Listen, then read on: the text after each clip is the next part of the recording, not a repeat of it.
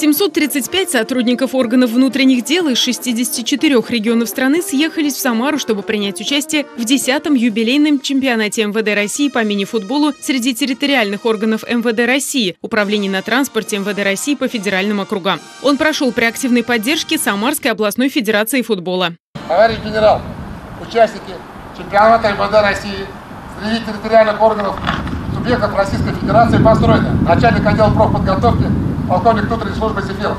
Чемпионат на стадионе «Волга» торжественно открыли заместитель начальника отдела организации физической подготовки и спорта ДГСК МВД России Дмитрий Русанов, заместитель начальника ГУ МВД России по Самарской области Юрий Сафронов и директор Академии футбола Крылья Советов Сергей Марушка. Они отметили, что в этом году поставлен рекорд по количеству участников команд. Хотелось бы от Главного управления МВД России по Самарской области, от себя лично сердечно поздравить вас с открытием, торжественным открытием нашего долгожданного мероприятия чемпионата Министерства внутренних дел Российской Федерации по мини-футболу. Все вам честного судейства, все вам побед, ну и хороших впечатлений. Мы все знаем, что футбол является самым популярным видом спорта в мире. И, конечно же, он не чужд, как говорится, и в, в органах внутренних дел.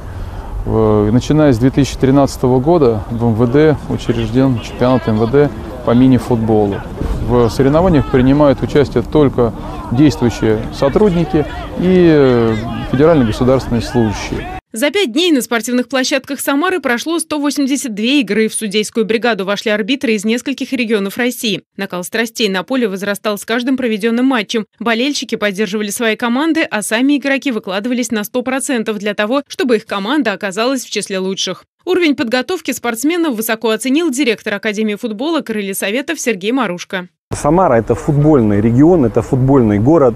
Здесь э, очень любят футбол, любят футбольный клуб «Крылья Советов». Те соревнования, которые у нас проходят сегодня и которые проходили, это в первую очередь социальный проект. Это необходимо для того, чтобы наше общество стало еще здоровее, крепче. Да, очень помогает. Э, во-первых, поддерживать себя как бы в физическом, в физическом плане, в физическом отношении. Ну и общение с людьми точно так же, как оно в службе, так оно и э, должно быть мы общаемся, я уже участвую в этом, это 10, 10, 10 лет подряд практически проводился этот чемпионат. Вот с начала создания футбольной этой э, семьи, как можно сказать, происходит это и в службе, и здесь.